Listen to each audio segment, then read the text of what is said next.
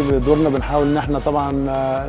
نطور وننمي المواهب ديت ونخليها توصل لمستوى دولي ومن خلال البطولات اللي بنعملها في نادي بالما هيلز